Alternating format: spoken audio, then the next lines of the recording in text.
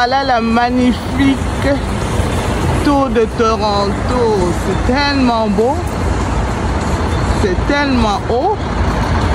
En plein centre-ville de Toronto. Yeah.